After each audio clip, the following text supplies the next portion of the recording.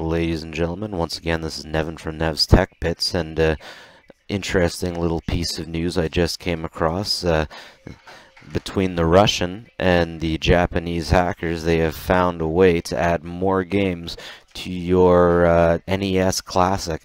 That's right, the uh, the all-powerful, much-loved NES Classic has been hacked already, and now you can upload directly to the unit you can upload via USB. And uh, I'll put the link in the description about uh, where how this guy says you do this. But as you can see, uh, I'll also provide the video.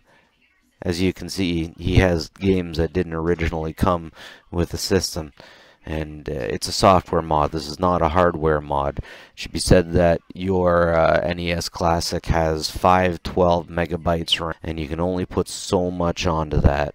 But still, 60 games. Good stuff. Check it out, guys. Check out this guy's channel.